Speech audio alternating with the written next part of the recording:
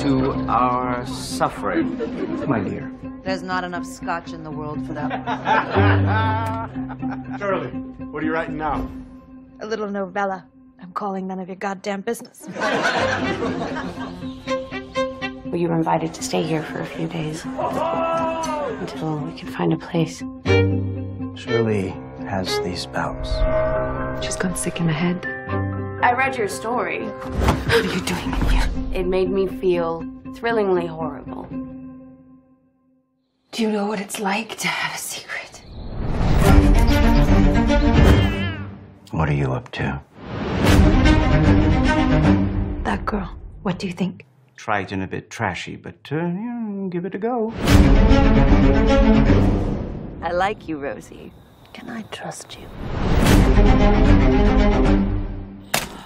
I feel like we're in the Scottish play. On the verge of madness. What will happen?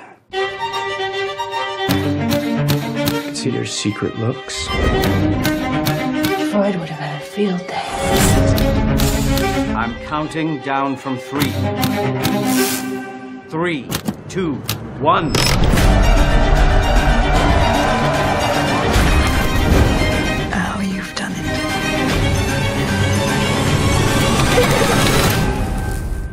Becomes of your dear heroine?